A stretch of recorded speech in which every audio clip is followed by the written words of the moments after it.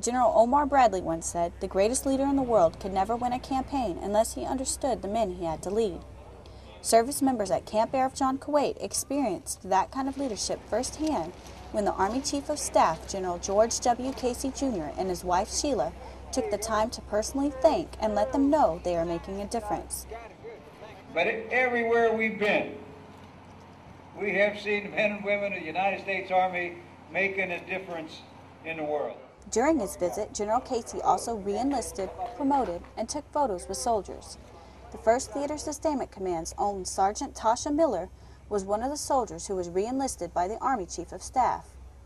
I just think it was an honor, you know, and it's a blessing that um, I was able to be re-enlisted by, you know, a senior officer in my chain of command. General Casey took the time to show soldiers that the sacrifices they make for their country during the holidays are not forgotten and are truly appreciated.